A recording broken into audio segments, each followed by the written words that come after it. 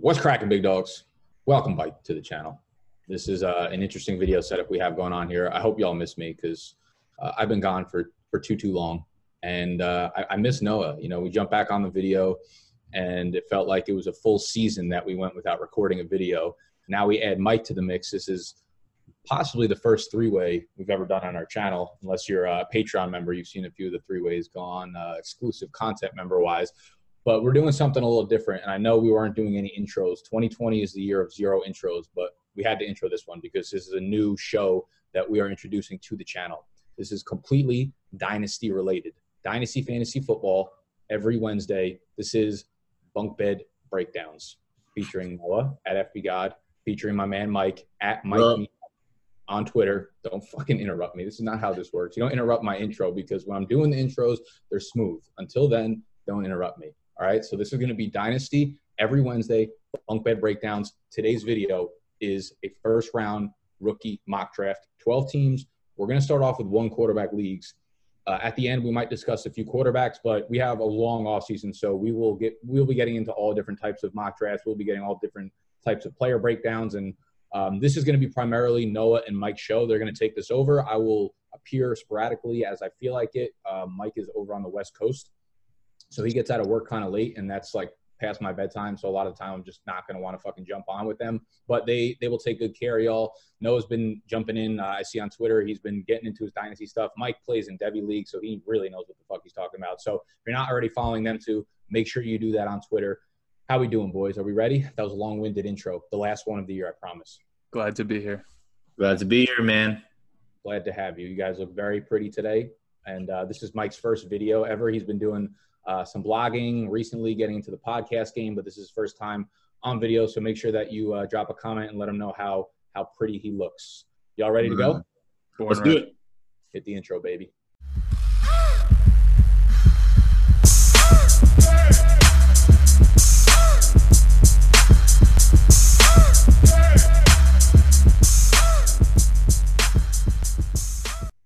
All right.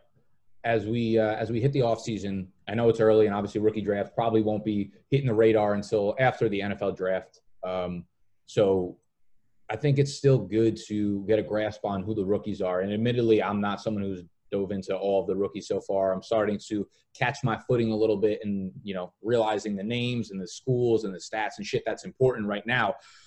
One thing that you realize very quickly when you dive into the rookies this year is that there is an, mm, I'm not going to say inarguable 101, but if D'Andre Swift is not the one on one in your rookie draft, the people you're drafting with are fucking idiots. So D'Andre Swift, running back out of the University of Georgia, this kid does absolutely everything you can ask for. He checks basically every box that you can have for a running back prospect, and we obviously can't project um, or we can't go off of his, his athleticism. The combine is still yet to come. We have to know where he's drafted. We have to know what team he lands on the opportunity. But this kid's going to be a first round pick more likely than not, and he will be the feature back wherever he lands. He's got the good size, 5'9", 5'10", between 215-ish, 220 at his heaviest. Um, he'll be 21 when he enters the season, so he's ripe. He's right into that uh, fresh zone of you know where the prime is for a running back that comes in and dominates kind of early. At Georgia last year, wrapped up over 1,400 yards from scrimmage. Uh, I mean, he's just been doing this for a couple of years now. He's someone who's caught multiple uh, seasons of 24 passes or more. He's coming off a 24 catch season this year, 32 the year before that. So he's got the size. He's likely going to have the speed when they test him at the combine. He's got the production, 6.2 yards per carry this year, 6.4 yards the year before that, 7.6 yards per carry in his freshman year, which he didn't do much because he was sitting behind Nick Chubb and Sony Michel. But those yards per carry against the SEC is so important. Like you want to make sure that you drill that into your head when you're uh, prospecting out these rookie running backs. You want to see what kind of competition they have, and when you're doing that in the SEC, it's super, super, super important. So you have tough competition, production, stats, size, speed, receptions. I mean, he does everything. Um, that you could possibly ask for in a rookie running back. So he's going to get into the NFL and immediately have uh, the featured role somewhere. So um, with that being said, are there any arguments there at the 101?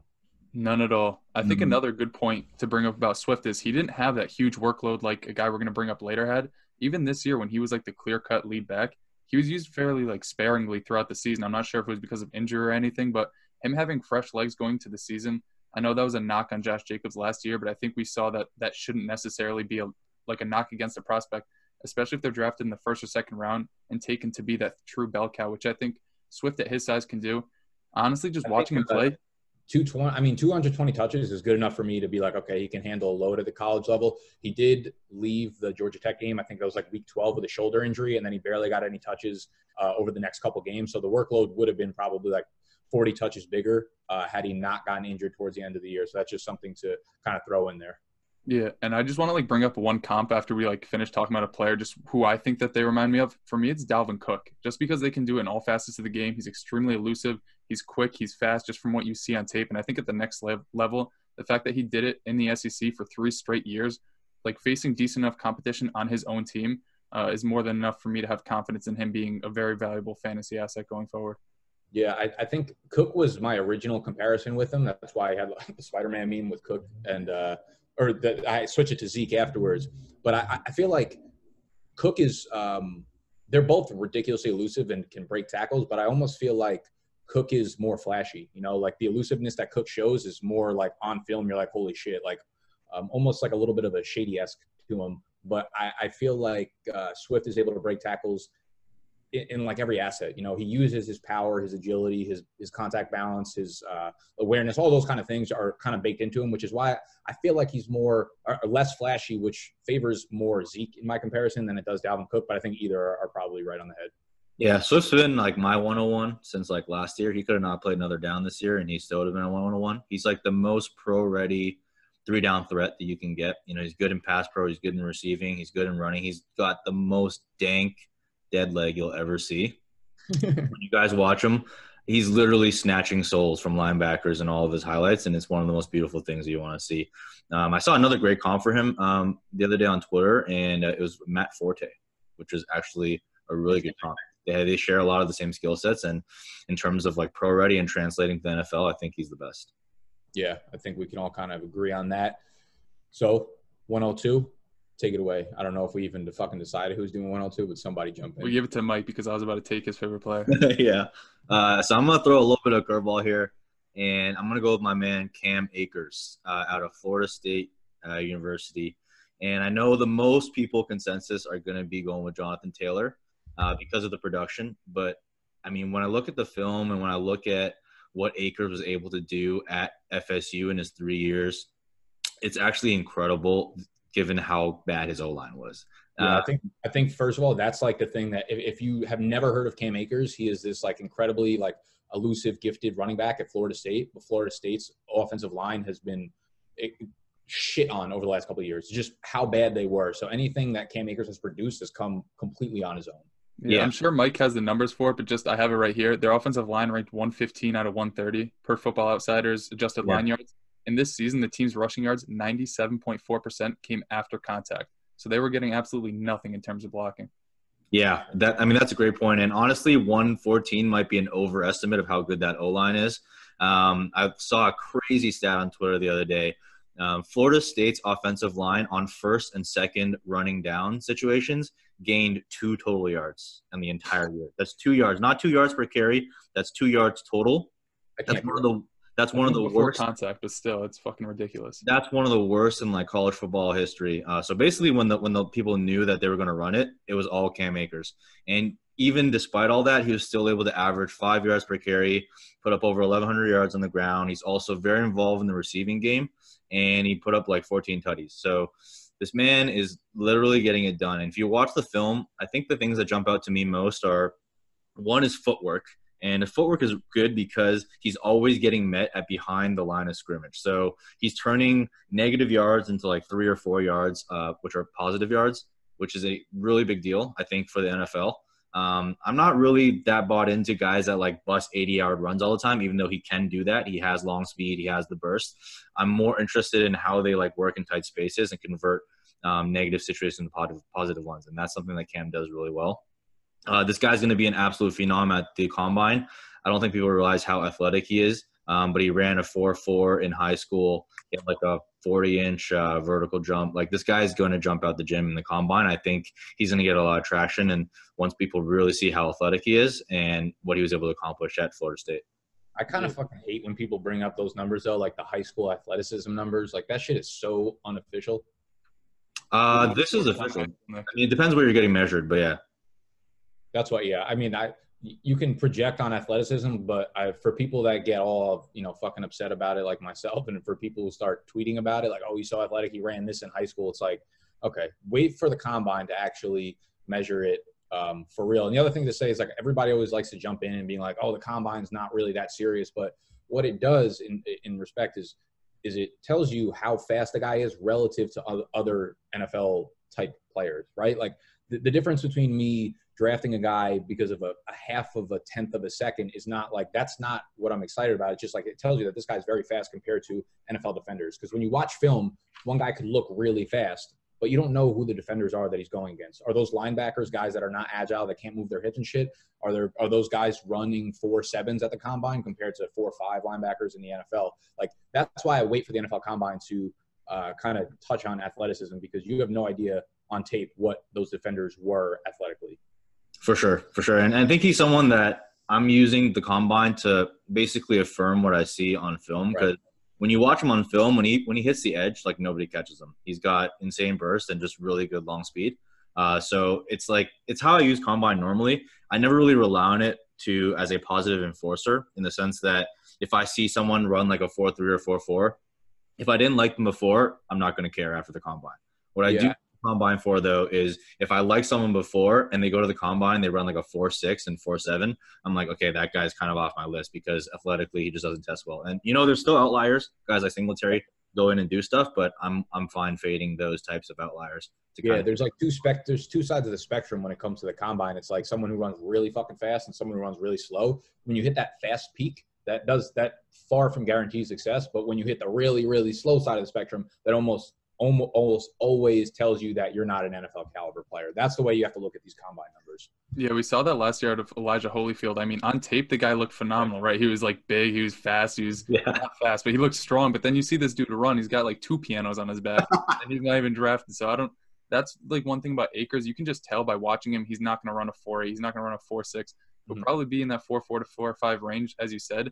And the reason why I agree with you, and he's my RB two as well, is because you look at the situation he was in and my comp to him, not necessarily skill wise, but situation wise, is Joe Mixon, where we saw this year, despite having nothing to work with, the guy produced. And I think for Cam Akers, that's like a huge like part of his potential is because we don't know where he's going to land right now, but wherever it is, it's most likely going to be better than Florida State. So he's more one of the more like landing spot independent players in this class. So at this point, not knowing where he lands, I feel extremely confident picking him. You know, top two, top three. All right. So who do you feel confident at the 103? I mean, I feel confident in Jonathan Taylor, but me feeling confident in his knees is going to be a completely different story because this guy has like 970 touches uh, logged through three seasons, which is an absolute injuries. No, he hasn't. But I will say that that could be. I'm not sure if anybody's doing any studies on how that correlates to injuries, but when we saw Derrick Henry like rack up 600 touches these past two seasons in college, that guy was getting a ton his last year at Alabama. But um, I think just what we've seen from Jonathan Taylor during his three years at Wisconsin, right? He's the second leading rusher there in only three seasons. Uh, he has like two or three, all of his seasons went over 2,000 yards from scrimmage. Even this year, right? He was not known as a pass catcher, but he racked up, I think, 26 receptions. Five of them went for touchdowns. And we see guys like Leonard Fournette and Ezekiel Elliott who aren't necessarily the best pass catchers. They aren't weapons in the passing game, but they get used because teams know that they're valuable, even if it's just a dump off, even if it's just a screen. So I think at the next level, just with the athleticism we've seen out of Taylor, like the guy runs for the four by 100 relay for a D1 track team at like 225 pounds. That just shows that at his size, I mean, no matter the size, you have to be athletic to do that.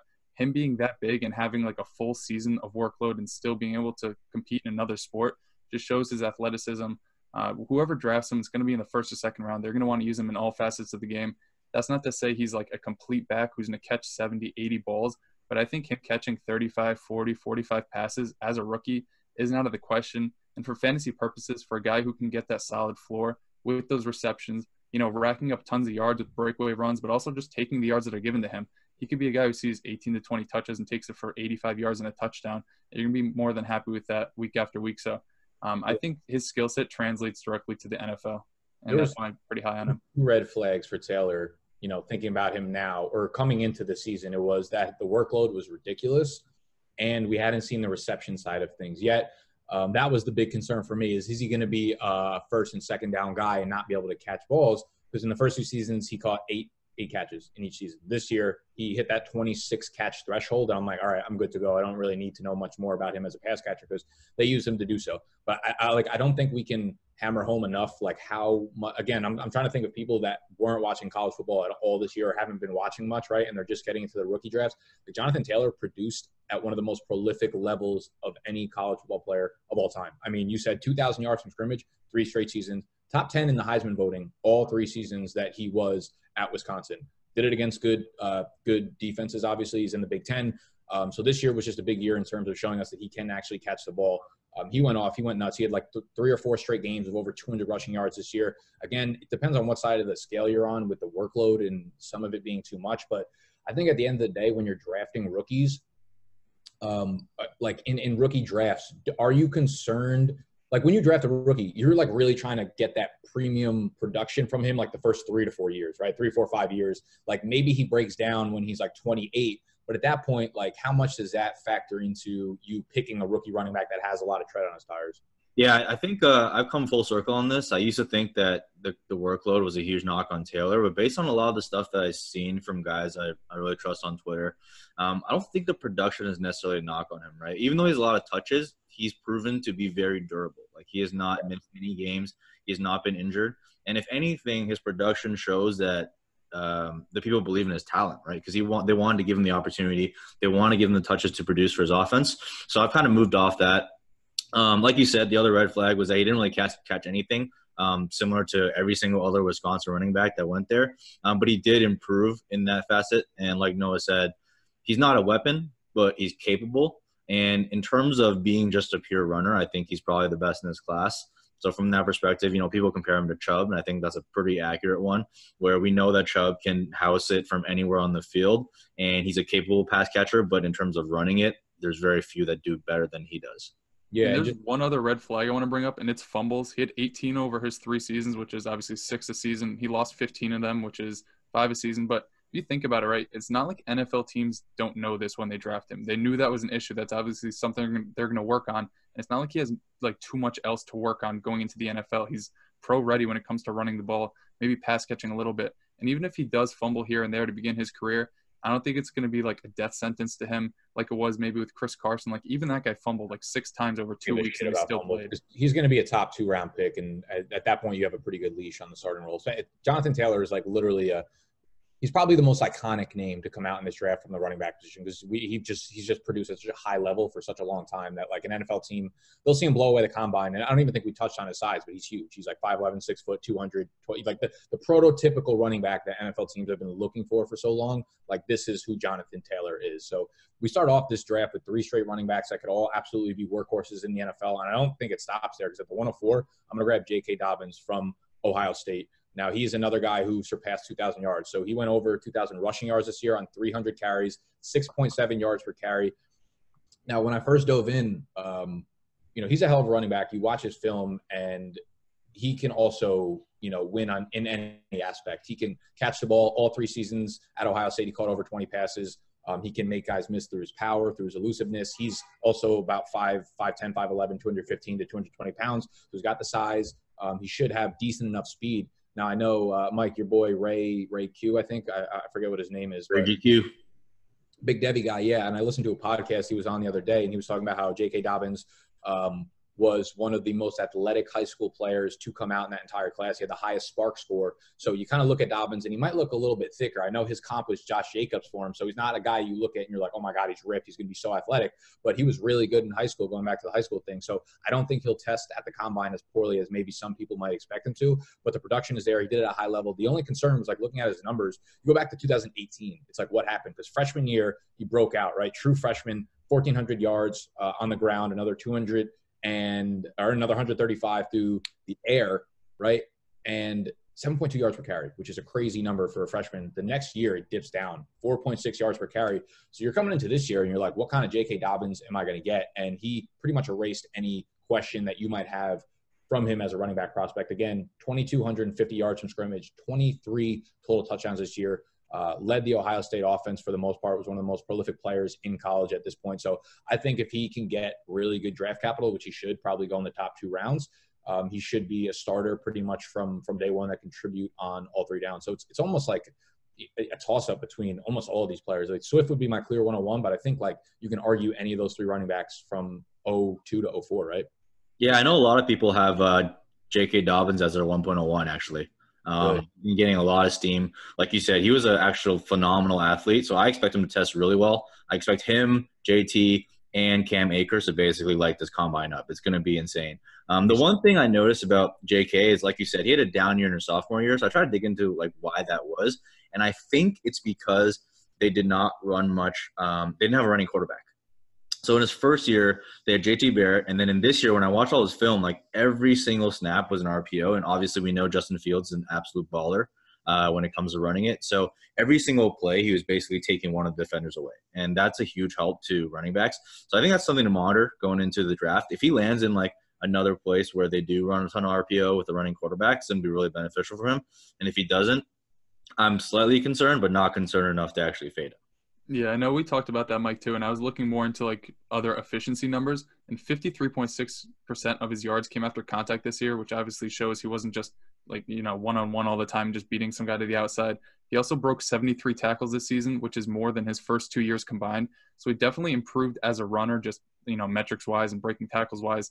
Um, he's obviously super athletic, but as you said, right, that one down year with Dwayne Haskins, that's what kind of makes me like a little bit more nervous about him than the other three guys because he seems to be a little bit more landing spot dependent than the top three who did it basically every season in every situation, whether it was good or whether it was bad, like it was with Cam Akers. So um, him landing in the first two rounds, obviously he's going to get that long leash being the workhorse back for whatever team he lands on, but I don't think he's necessarily as, um, you know, prone to not succeeding or whatever because you know he's he showed that down year when he didn't have everything working in his favor. Yeah, I mean, regardless, like you're looking at any of these guys at the 104, and they would be the clear RB one last year. You know, so you're happy if you have a top pick um, and you land any of those guys, even with you know some made up question marks. So you could we're gonna we're gonna have to play devil's advocate here, obviously, as we go down the rookies and stuff. But like for the most part, um, these are guys that you're gonna be really excited. So if you have multiple picks within the top four, like you're gonna land two really, really, really solid RBs. Who do you think? Who do you guys think is I, I, guess Mike, you would probably say Dobbins, right? Like, who do you think is the most likely to bust out of these four candidates? Most likely to bust would probably yeah. be my guy, Cam Akers, and the reason why I say that is because of draft capital. Like uh, Dobbins, Taylor, and Swift are getting all the hype in the mainstream NFL media as well, and that's something I'm paying attention this year. Like before, I didn't care because I'm like, oh, those guys are stupid. They don't know what they're talking about. But it really matters in terms of getting opportunity and how they who hype up uh, what teams they land on. And Akers is one the one that's not getting much buzz. So that's the one I'm kind of worried about. And if he lands in a bad spot, he's still really raw. Like this guy was a quarterback in high school. He's a converted quarterback, and despite being a converted quarterback, he came into college ranked as the number two running back. So that kind of tells you the athletic uh, ability of Cam Akers. This guy, I think he rushed for like 2,500 yards and like three and passed for 3,000 yards in high school and had like 50 tutties or something like that. Something ridiculous, just like video game numbers. Um, but he really does need to be developed. Um, so I want him to land in a good spot, and if he doesn't land in a good spot, I could easily see him like just getting phased out of the game.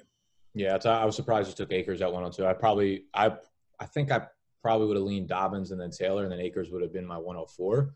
Um, but again, like this is this is going to be an interesting conversation to have all off season. So we'll move towards the 105 with Mike. Yeah, this is this is actually a tough one. Uh, you know, you could easily go wide receiver here, but just given how deep this class is, I'm going to stick to running back uh, and take the last guy in that tier two of my rankings, and that's Clyde Edwards Helaire. Um, this guy exploded onto the scene this year, along with the LSU offense and Joe Burrow. Um, arguably, probably the greatest college offense that I've ever seen in my lifetime, maybe only rivaled by the 2001 Miami Hurricanes in terms of talent and production. Uh, the U, baby. And I think that the reason why I picked him is because, like everyone else, he has the ability and the assets to become a three down back. Um, in terms of elusiveness, I think he's actually the most elusive back in this class. Um, there's a there's a hashtag going around called the Clyde Clyde Shuffle, and if you watch him on film, uh, this guy's literally putting linebackers on skates like pretty much every time. And he comes in a little bit shorter, but he's by no means undersized. Like his BMI is still good. He's weighing in at like 210. Um, so he's definitely got the prototypical size and he catches out of the backfield, but he also lines up as a receiver. And I think that's key, right? When I try and find receiving backs, I want to find guys that are a weapon in the receiving game, not just taking dump off passes, because when you get to the NFL, um, there's going to be good receivers on your team. So you actually got to become an efficient receiver in order to get those targets. And Clyde Edwards Helaire had 55 receptions this year. That's an unbelievable number for a college running back. Yeah, that's more than most college running backs finish with in their three to four year careers. So you my know, concern, my concern with Clyde though is uh, he obviously catching 55 balls means you're a very well and capable pass catcher. I, I wouldn't say he's like uh, like pass catching is not his you know his claim to fame here. Like he is a very capable guy, and he was put in a position, like you said, one of the best offenses of all time to catch. A, they threw the ball so fucking much that he caught a lot of balls. My concern is that the where he lands, obviously we don't know this now, but where he lands is going to dictate a huge portion of his value in rookie drafts. Because if he lands somewhere that doesn't fucking use him or utilize him correctly, like if he lands under an Adam Gase or something, his his fucking value is going to plummet real quick, yeah. right? Yeah, definitely, definitely. He's going to have to land in a place where they exploit their his receiving ability. But don't get me wrong, like that's not all he's good at. He's also a fantastic runner. Like he can juke you out. He can lay the boom on the defender. Um, he's great after the contact. Like I rarely ever saw him falling backwards when I was watching the film. Um, and he's great in between the tackles. And he has an extremely low center of gravity, so he understands how to take on contact and win win at the contact point. I think that's like one of his best traits. And like you said, it's going to be very landing spot dependent.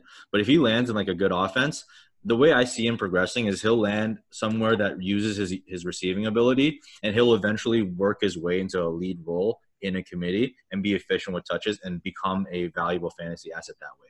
I don't think he's someone that lands just day one and just explodes on the scene and takes over. It'll be more similar to like that Miles Sanders progression where you land in a spot in a committee and you kind of prove yourself and you learn throughout the time. And then once you become the lead dog, that's when you kind of put on a lot of production.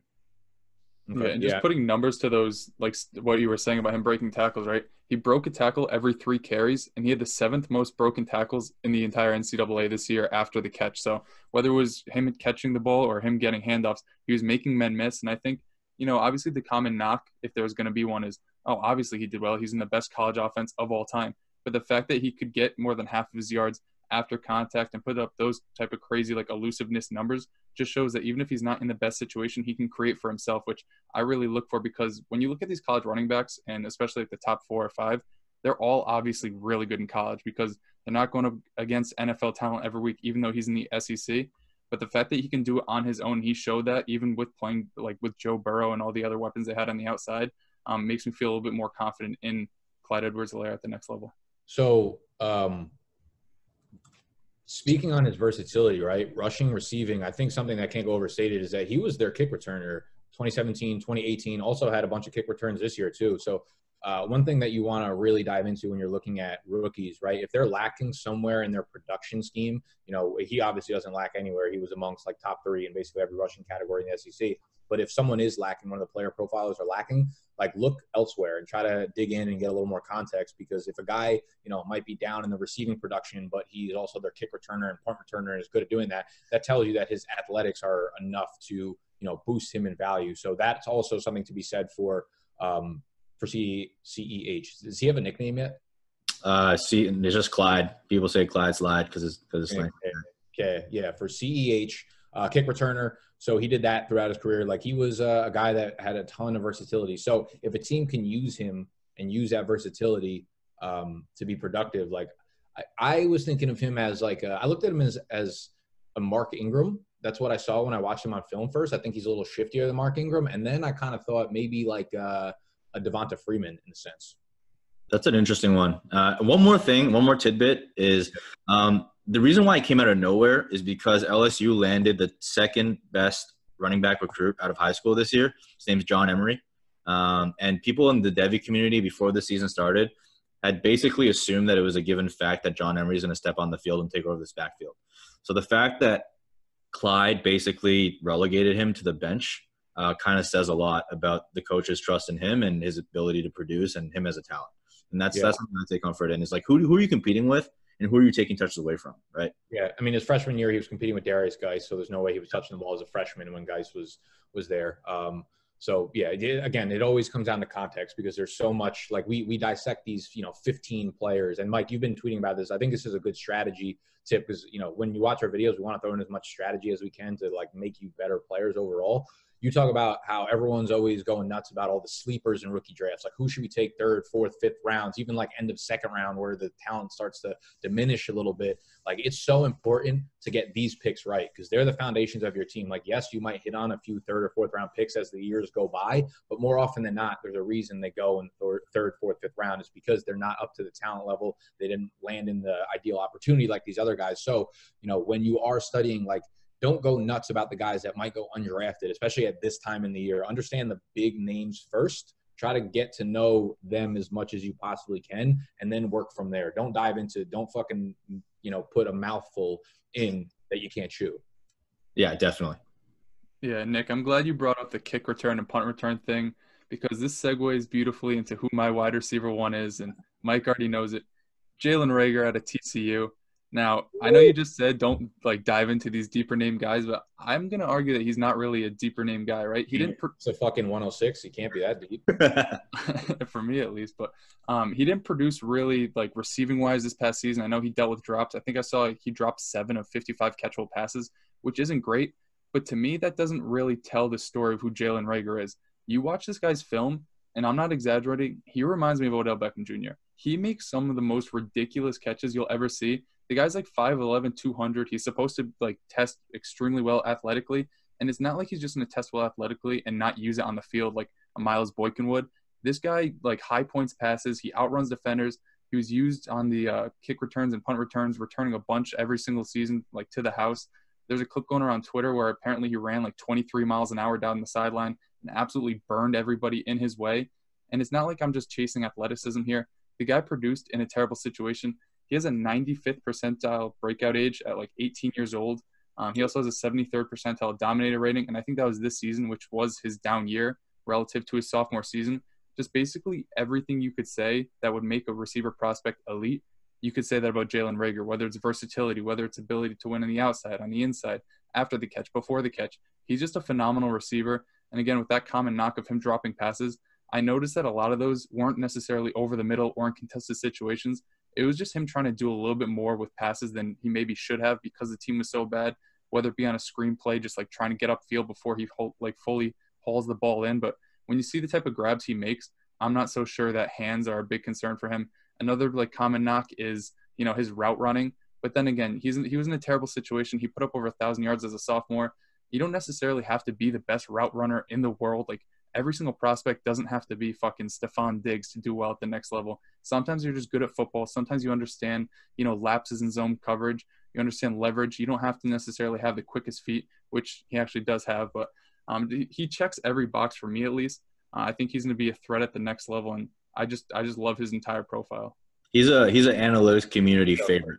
Two things real quick. I think that was the first time I ever heard Noah say "fuck" on the channel before, and uh, secondly, uh, the whole route running thing is just unbelievable on Twitter. Like there are, of course, there are going to be wide receivers who run better routes than other ones, but every time you see a clip with a guy running in shorts, like I I block I block that person Twitter as spam. But really, this goes back to uh, the combine. It's like when someone runs a route because Metcalf. They, they turn they turn right, and the defender, who is a guy who's going to be working at fucking Target next year, turned left. It makes him look good. And like that, that's the problem with these things. Is like you don't know who the defender is that they're going against. So you're talking about route running because he looked good on one play on film is such a horrible, horrible, you know, stance to take on a player. But yes, I mean he is a great route runner, and I'll I'll let Mike jump back in. I just had to point out those two things. Dude, totally agree, man. Route running is totally overrated. But um, Jalen Reagor is maybe a sleeper to the general public, but in, in terms of the analyst community and the Devy community, people love Reagor.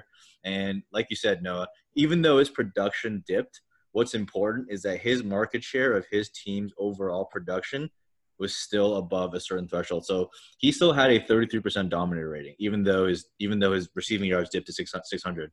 And that's just because of how bad this team is. Like if you watch TCU games, and Ray Garvin is probably the Jalen Reagor uh, president of the Jalen Reagor fan club, and he turned me on to him uh, a while back. So I've been following him ever since.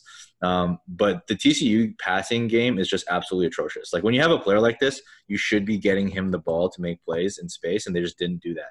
Not to Um, cut you off, Mike, but I would see them. I'd go on my phone and look up like NCAA today or whatever, and I'd see that they were playing. There was a game I think they were playing Oklahoma State. I'm like, oh, I want to see Hubbard. I want to see Tylan Wallace. I want to see Reagor. I watched about like two drives, and he wasn't targeted once. I just turned off my ta- TV and I hit that SpongeBob on my head out meme because I was so pissed off that I didn't get to see a guy who I like love Keep watching keep play going. get used in the passing game. Yeah, for sure. And that, that's like the main problem, right? Like some of these college offices just aren't that good. And to me, Jalen Reagor is the Cam Akers of wide receivers. And I tweeted that. They're both in awful situations, but despite being in awful situations, they're still producing for their team at a very high level. And All honestly, that, let's go. oh yeah, let's go, Not baby. best fucking key holder of all time. yeah, that's awesome. Um, but yeah, I, like you said, he's going to be an athletic freak. I know everyone's obsessed about Henry Ruggs and how he's going to shatter the 40, um, but Henry Ruggs is only fast. Like Reagor is fast and he's incredibly athletic. And he actually Um, produced in a terrible situation. And Yeah, Ruggs some didn't quarterback averaged in a average good six situation. point one yards per attempt. yeah, exactly. So I think that tells you all you need to know. Um, But Yeah. yeah, I'm on board with you, man. I love Reagor. He's not my wide receiver one, but he's definitely in that tier one for me. All right, so we're gonna we're gonna let me go into the wide receiver position, which is probably a huge mistake on on this show, but I only have two more picks, so I can't really fuck this one up too bad. I haven't admittedly jumped into Jerry Jeudy too deep, but I don't believe he is the wide receiver too. I will go with CeeDee Lamb, who is the wide receiver out of Oklahoma. Uh, this kid checks pretty much all the boxes you want to look for. When you're looking at running backs and wide receivers, you look at very different things when you are scouting them as rookies or as prospects overall. Like running backs, I think there are like five or six check uh, boxes you could check as almost like strictly analytical, right? It's it's like the size, the speed, um, so combine kind of stuff, the production against good competition, et cetera, et cetera, catching the ball. When it comes to wide receivers, you guys have brought up dominator rating, you guys have brought up breakout age, and for those people that are kind of new, what that means is uh, college dominator rating is basically a percentage of uh, the production that your offense had. So, like you said with Reagor, like he might not have had the raw stats, you know, 650, 700 receiving yards or whatever. But when that's 50% of your team's passing offense, that looks a lot better. And that's the way you need to be looking at things. So, in terms of college dominator, when you hear that, that's basically just uh, encapsulating how much of the overall production of the offense that receiver had. So, he was, in, in, in essence, dominating his college. So when you hear like 68th percentile, 75th percentile, that's really good. That's you know the percentile among NFL wide receivers and what they did at that age. Breakout age is just what age that that player broke out. I believe it's like when they had uh, a 20th or 20 percent of the college dominator, what age they did that at.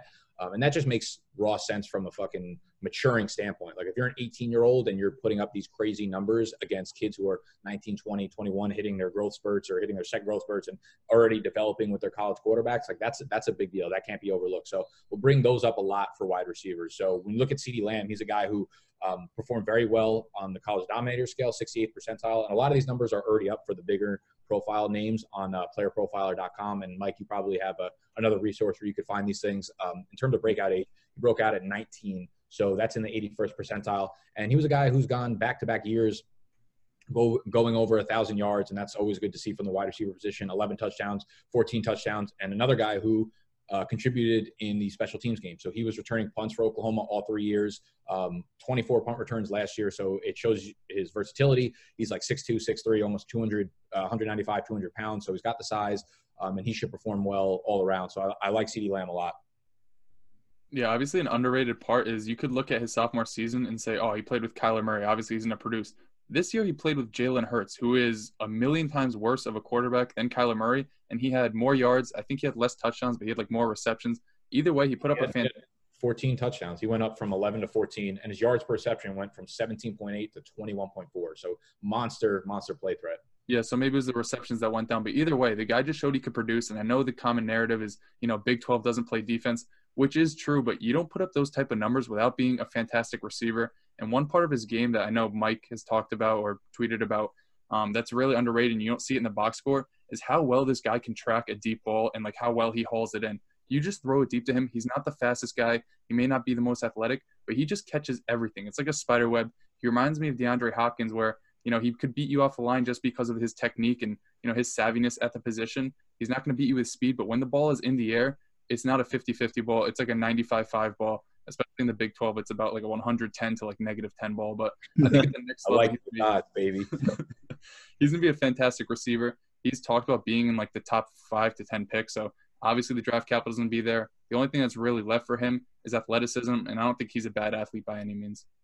Yeah, I totally agree. CeeDee Lamb's my wide receiver one, and it took me a long time to get there. Um, I was a Jerry Jeudy truther, but if you just look at the age-adjusted production, and what I mean by that is like how he produced and how he increases production relative to competition year over year. He as on he's on a very positive trajectory, and he had a monster season this year, arguably with the worst quarterback he played with. And if you look at competition, like he's competed with Hollywood Brown, um, guys who have actually went first round in the NFL. So it's not like he's competing with scrubs.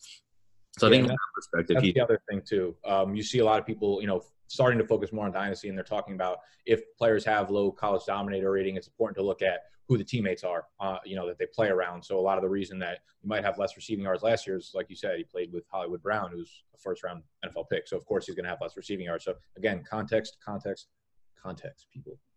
Yeah, um, but yeah, I love I love Ceedee Lamb. He's he's definitely my wide receiver one. So that's a great pick. Uh, Nick stole that one. Um, Lucky me, baby.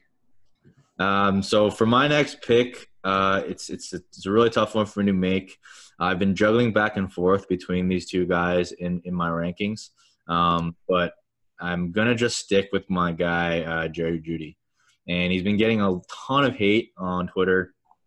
Um, from not not not hate, but just I guess dislike and disapproval from some of the analytics community because uh, he did really well last year as a sophomore. He obviously he was the best wide receiver in the nation, um, but this year he took a major dip, and there's a major debate going on right now about like why his dominator doesn't matter, why his market share doesn't matter because he's playing with four other first round wide receivers, which I believe is actually a gross exaggeration. Um, I don't think I don't think the talent is that that good, um, but there is something to be said uh, for the fact that he does play with a lot of talent around him. Um, but he wasn't able to cross that 30% dominator threshold, which is what you're really looking for um, in that final season. But when you look at like the film, like you know, we say route run, route running is overrated, but when you are an elite route runner, I think you know there is something to be said for that because you can just basically plug him into the offense and and let him go. Um, yeah, you're, you're you're a big Amari Cooper guy, and I feel like that's a big thing that you know people watch Amari Cooper and they're like, this guy's fucking elite in, in the sense of route running, and you know it's the same way I look at running backs. Like people will always be like, oh, he's got great awareness and contact balance and whatever, and it's like cool, whatever. That's your subjective view, but that will eventually turn into production. Like if his contact balance is so good, he won't average 4.5 yards per carry. He'll average 5.5 yards per carry. You know what I mean? So Yeah. it's like if he has great route running uh, aside from his quarterback being terrible or something like that, then the production will be there. You know. Yeah, exactly. And I think he's he's he's probably one of the most ready to go quarter uh sorry, wide receivers in the class. And the reason why I don't have him as high as I used to is one because of the analytics side of things. I do consider that in my rankings. Um, but also I feel like um he might not be that prototype wide receiver one. So although he has a really good floor and I don't think he'll bust, I don't think he has the same ceiling that someone like CeeDee Lamb does. Um, and he, he doesn't have the best hands. He can catch the ball uh, fine, but he's not someone that's going to leap over some guy, an NFL defender, and snatch it from the air. He's not someone that's going to win a contested catch. And in that way, he's very similar to Cooper. Like Cooper is not good in contested catch situations. That's why he's never been that great in the red zone. He needs space to work with to basically put dudes on skates and embarrass them. But if you're really tight uh, with him, he's not as effective. And I think like Jeudy would be best uh, suited landing somewhere where they have someone else who is a prototype wide receiver one, or he gets taken with someone that's a prototype wide receiver one. But from a floor perspective, I think he's one of the safest in the class. Um, and he, he's still an elite receiver. So I get all the hate and all the analytics around it, but at the end of the day, like, you know, I still like to go with my gut and trust my eyes a little bit. And he's still in that tier one wide receiver for me. Yeah, exactly what you just said. Like him not producing as number one, he kind of reminds me of Emmanuel Sanders in that aspect, where he's a fantastic receiver, but he definitely benefits a lot from having somebody else on the other side, whether it was Demaryius Thomas or Courtland Sutton. Um, I'm not so sure about how athletically those two will test, like what how similar they'll be athletically. But as you said, like this guy was basically the consensus 101 for two seasons, and he kind of dropped off this year because his market share dipped down. So it's not to say he's a bad player because he's being taken at what is it like the 107 right now. Mhm. But I, I don't think that anybody is as high on him right now as they were to begin the season or even last year. Yeah, One someone who didn't really pay attention to college football, like prior to last year, I felt like all I heard was Jerry Jeudy was like the next fucking the next big thing at, at the NFL wide receiver position. So um, it's good to see that Mike can pivot a little bit. Um, so before what pick are we at right now? The 109? 109. All right, before we do that, real quick, I know we're we're pretty deep into this episode, but I think uh, my roommate just texted me. Goes, "What about Anthony Miller?" I was, gonna start this episode off uh, by taking AJ Brown at the 101 and just how, how it went from there. If you guys would have allowed me to do that. Uh, real quick though, we are working on some stuff behind the scenes for the uh, the audience out there. I'm sure a lot of you guys purchased the draft guide that we put together last year for the season long.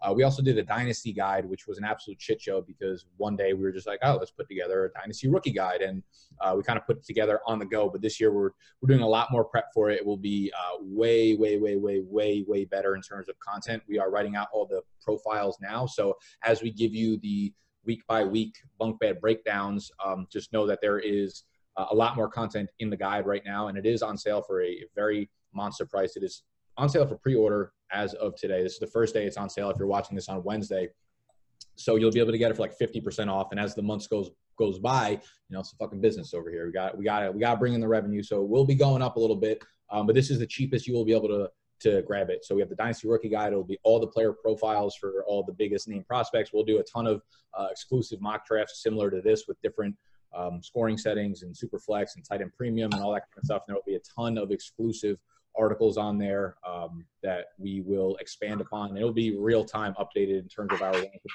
uh, for dynasty, rookie, all those kind of things. So bigdogdraftguide.com. You can go cop your pre-order. It will probably launch on April 1st, I want to say. And again, we will be updating it throughout the entire um, off season and as the NFL draft and stuff comes on. So bigdogdraftguide.com, 109, Noah, us. Can I plug the Slack as well? Yeah, sure. All right, uh, I'll put in the description. It's a link to a Slack channel that you know we set up to get new time, like first time Dynasty players to learn the rules, uh, get into leagues with other people. You know, Mike and I are going to co-manage a team later in the season and play with 11 of you guys. So um, it's completely free. You guys, you just put in your email. You guys get to talk about rookie deals. Uh, we we have a, a few channels where you can put in like screenshots of your team or pictures of trades. And Mike and I on the show are going to take one or two per episode after you guys draft. Um, so it's more interactive. And we'll break down the trade, see uh, what advice we can give you, how your team benefits from a trade or roster advice, like potential moves to make, uh, who's on your waiver wire, that type of stuff. So it's a more interactive way to start playing Dynasty, especially if you're from Nick's core audience where it's, you know, mostly redraft, I'd say. If you guys want to start getting into it, uh, it's $50 leagues, or you can join a free league if you just want to get your feet wet uh, in the Dynasty uh, area, I guess you could say. So the Slack channel. So for those of y'all that don't know what Slack is, it's basically like an instant messaging platform where you sign up and uh, there's different channels and topics and whatever you want to dra- dive into. There's like you know people talking about different trades that are going on. And if you want to join a league, the, the Slack channel itself is completely free. And Noah said he'll put the link down below if you want to join the Slack channel networks. You guys can talk about shit.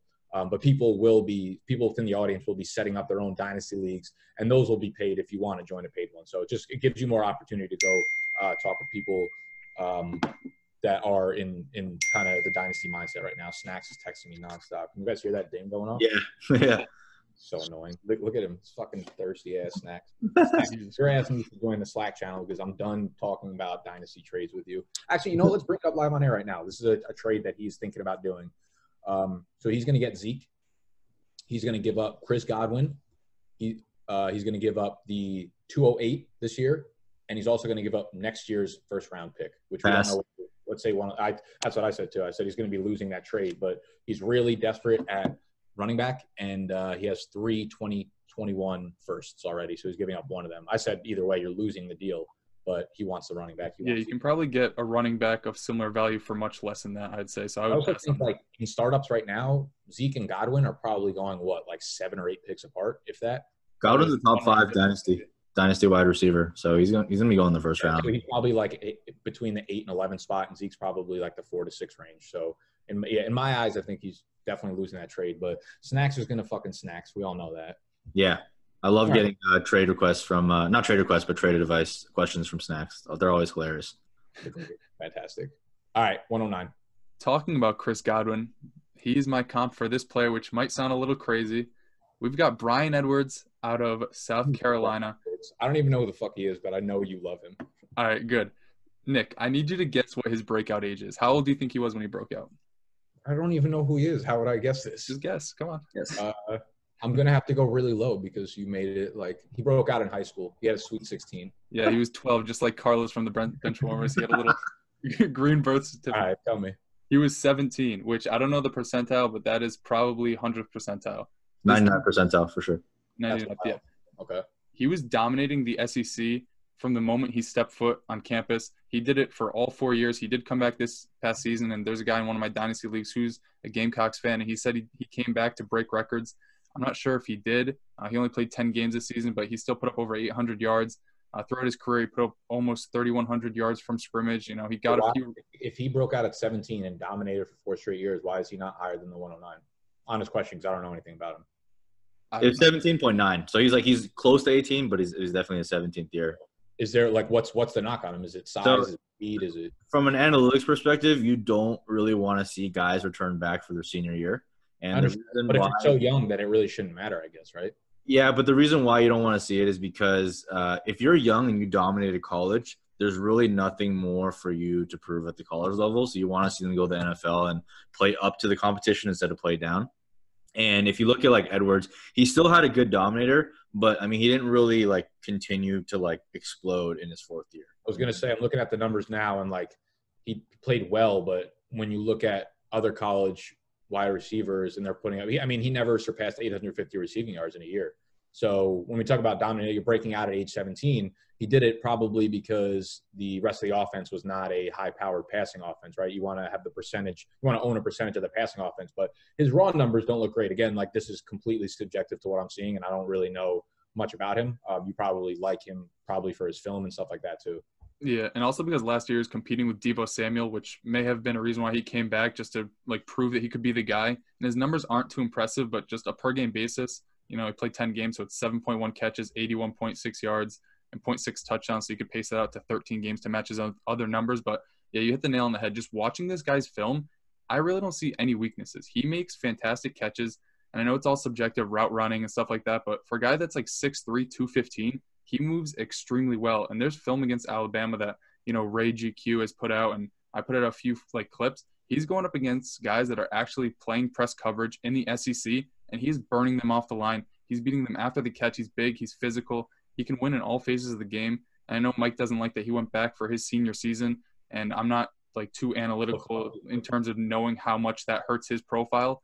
But I think just watching the guy play and you know playing with Deebo Samuel and still putting up good seasons is why I'm a huge fan of Bryan Edwards.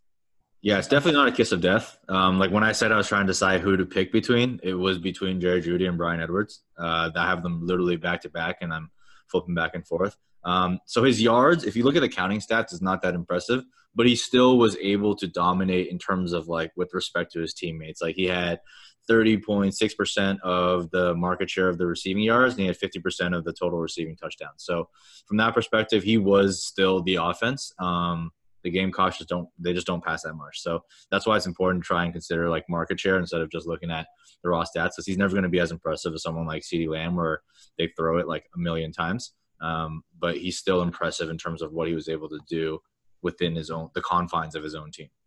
Yeah. Um, speaking of non-impressive raw totals, this guy has a complete fucking opposite. And that's Justin Jefferson, wide receiver out of LSU.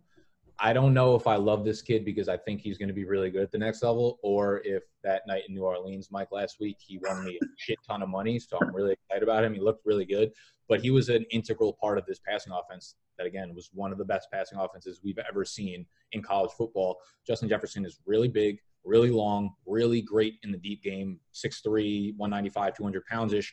Um, he was a guy who hit the 30% college dominator rating. Uh, he also broke out at like 19 and a half, with it, which is in the 75th percentile. His raw numbers this year, he led the entire NCAA in catches. He had 111 catches, 1,540 receiving yards, 18 touchdowns. I mean, just from looking at raw numbers, how can you look at this guy and not think he's worthy of a, of a first round pick? So, what are the knocks against him, you guys would say?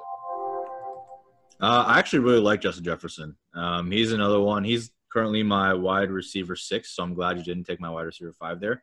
Um, but in, from an analytics perspective, like he broke out uh, at age 19. Um, you know that he's competing with elite talent. You have Ja'Marr Chase, who's my current wide receiver one for the 2021 class, and just won the Biletnikoff. So he was the nation's best wide receiver. Um, and then obviously he was a beneficiary of that incredible offense this year. Um, but he was even producing last year. So from a breakout perspective, he's there. From a market share perspective, he's there. From a film perspective, he's there. He, I mean, he's a pretty developed route runner. What does that sound?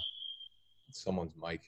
Don't matter. I don't know what that was. Yeah, I, I heard it too. I'm not sure if it's from Mike. 100% Mike's fault, but Is it Okay. raining? no, so San I'm Diego? with you, but well, whatever. We're Yeah. go. Um, but yeah, I mean, he, he checks the boxes from an analytics perspective, and he checks the boxes for me from just watching him play. So um, I actually really like him. I don't have that many knocks against him. The only maybe slight knock against him is um, his size. So I don't know if you guys have been tracking Twitter at all, but there's been all this talk about like BMI and whether or not it matters. Uh, for me, like I'm not really tracking it that closely because I don't know how accurate these measurements are, and five pounds here or there can really throw it off. But he has a at his latest measurements, he has a BMI of 24.4, which is a decent amount below kind of that 26 threshold that people are using to try and determine whether or not someone can have the ceiling that you want to see. Um, but like I said, I'm not really putting too much weight into that at this point. Yeah, Yeah. me personally, I haven't watched like much film on him. I've just seen the games when he's on national television, and the guy's just like he's good at everything. Like there's not really a weakness in his game that I see. And was it against Auburn or Alabama that game? He had like four touchdowns in the first half, or maybe it was Oklahoma, one of those top schools. He made so many ridiculous contested catches in those situations where like at first you kind of wonder is he just a guy who runs out of the slot and racks up catches over the middle? But he proved in that game that he can do it in all phases of the game. Um, he kind of reminds me a little bit of like a lower end Davante Adams in that sense, where you know he can win off the line, he can win in contested situations. Obviously, his numbers prove that he was a very good receiver, and the breakout obviously also helps his profile. My uh, th- this LSU offense is going to be so interesting to look back on because you know we're you have to be high on like every piece of the offense, but in like five years we're going to look back and either be like, holy shit, like the reason they were so good is because they had so much talent together. Was it the offense? Was it just like Joe Burrow is the next fucking Aaron Rodgers? So it's hard to say because one of the things you love about Justin Jefferson is his ability to you know grab those deep balls. But uh, you look at Burrow and he's like the most accurate deep ball thrower that we've seen in, in like quite some time. So it's like you know chicken or the egg here for me. But I just, I mean everything um, about Justin Jefferson's profile and what I've seen from him tells me that uh, that I love him and I'm probably going to be looking at him in the back back half of the first round for uh, a lot of my rookie drafts. For sure. Uh, so in terms of my next pick, I'm gonna go hit up the losing team from the championship game in the Clemson Tigers and take uh, Tee Higgins. Um, so Tee Higgins is a very, I think he's more of that prototype wide receiver one. He's 6'3", uh, 205 pounds. Um, in terms of breakout, he broke out at an early age as well, so he really checks off that box for me personally. He's an underclassman, so he's declaring early for the draft. And obviously, uh, he also benefited from being on the same team as uh, I like to call him uh, Football Jesus, but people know him as Trevor Lawrence. Um, so I think from the film perspective, like he really wins in those contested catch situations. He knows how to use his size and he knows how to contort his body to put himself in a place to win at the catch point. And I think that's a skill that not many people have, and it's really hard to learn and teach after they join the NFL. So guys like Lamb and guys like Higgins, uh, who enter the NFL with that skill set, is going to be pretty crucial. Um, the knock against Higgins, obviously, is that you know he went he played in the ACC, uh, where there's basically no real teams, and Clemson outmatches everyone, and they just dominate everyone every single year. Um, and obviously, you're not playing against like SEC corners either, so he's seeing very little press. Uh, he also probably needs a lot of development on the route running side, but as we've already covered, like route running is not really something that I take into heavily unless you're super elite at it, like Jared Judy, because you know that's something you learn. Like route running, for also, like if you're not a great route runner, it's also your coach's uh, your coach's responsibility to put you into positions where you could beat your defenders, where you're not playing against press coverage, move them into the slot more, you know, move them around line of scrimmage before the before the snap. Like that's you know, you could be a bad route runner and still succeed in the NFL too. Yeah, yeah, exactly. I mean, we've seen successes before. Like Dez Bryant was never a good route runner, but he could win at the contested catch point at every single time. So you don't have to be a great route runner to produce. And I just think that even if he isn't, like he has the skill sets to actually be successful in the NFL. Um, so I'm taking him here.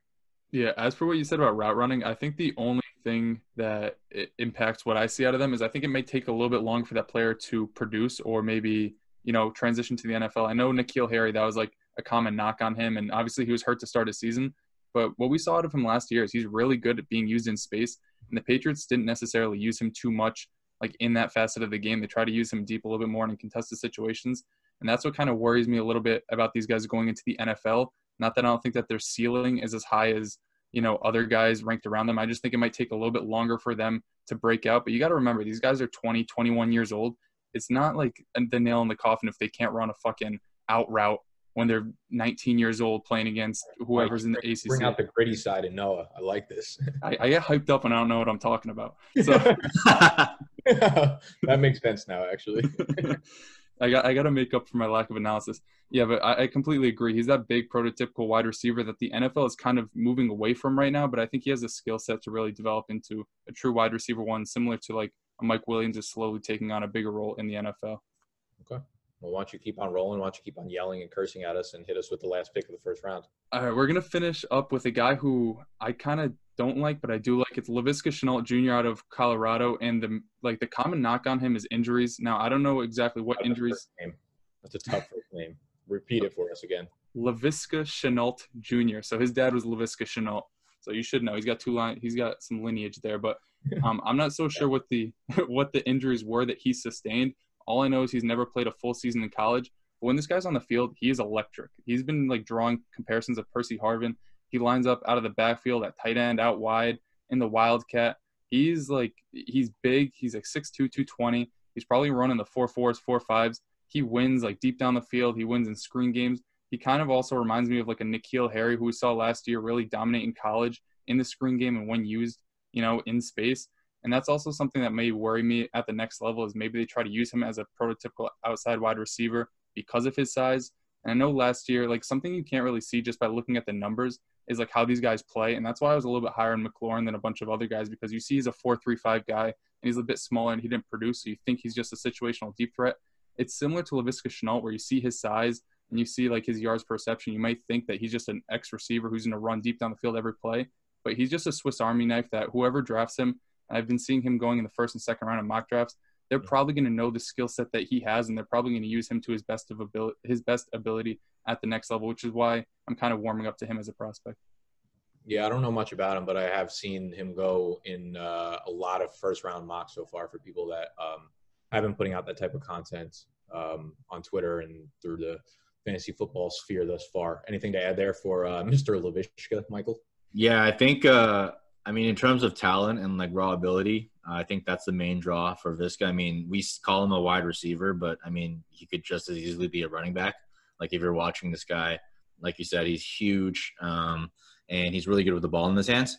Uh, the one knock on him is like, I mean, how healthy is he going to stay? He's missed a ton of games while he's in college, and he's taken a ton of punishment because he's consistently catching the ball like at the line of scrimmage. Um, so he's been taking an absolute beating. Um, if you were to tell me, if you were to tell me that he could play a full healthy 16 game season, I think he would shoot up most people's draft boards. But I think most of the ranking concern just comes down to whether or not he can play a full healthy season. Interesting. All right, so we don't know the actual injuries right off the top of our head, but you can go research that if you want. Yeah, he's a very versatile player. I mean, 86 catches in 2018, despite only playing in nine games. That's over nine catches per game, which is ridiculous. And then this year, um, 25, 23 carries, almost 25 carries, seven yards per carry. So again, he gets it done. He's successful no matter what aspect of the game he's in. So uh, again, a lot of these guys are going to come down to draft capital, where they end up being drafted, because you need coaches that can put these players in positions to succeed, like we saw um, for a lot of rookies this year. So uh, that is our first bunk bed breakdown episode ever. Uh, we are slowly going to turn into the best dynasty podcast in the fucking world. So if you enjoyed the episode, make sure you hit that thumbs up. Make sure you uh, let us know where we can improve. Let us know things that you'd like to see throughout the offseason, what type of content you'd like to see for Dynasty. We'll definitely get into, you know, um, NFL players as well, like trade targets, buy, buy low, sell high, that kind of stuff. But for right now, want to dive into to the rookie class and get you kind of excited because the Super Bowl is almost here and the 2019 season will be officially in the books. Um, so that's all we got for today. Make sure you're following those two. And uh, go check out bigdogsdraftguide.com. Go cop the guide. Cheapest it's ever going to be right now. I love y'all. We're out. Peace.